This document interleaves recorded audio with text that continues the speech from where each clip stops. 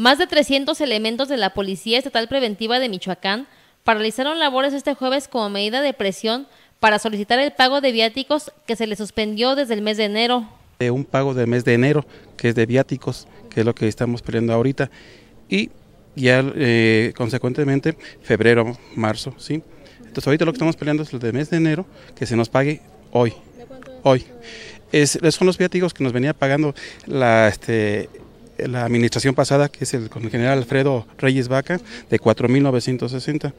Los elementos policíacos se acuartelaron desde las 8 de la mañana y solo comisionaron una patrulla en cada uno de los cuatro sectores para solicitar también la homologación de su pago, así como el cumplimiento en las compensaciones mismas que también les fueron suspendidas desde enero.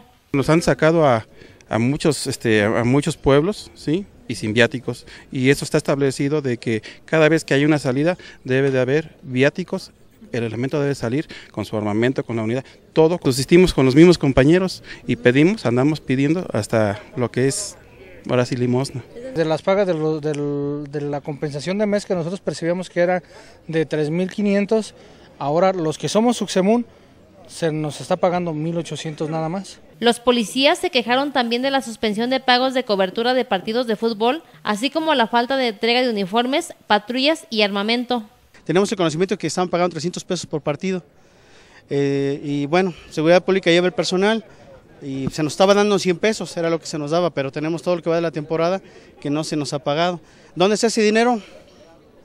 Eh, hay mucho personal que no está recibiendo su paga. No, no tenemos las unidades adecuadas, patrullas adecuadas para patrullar aquí en Morelia.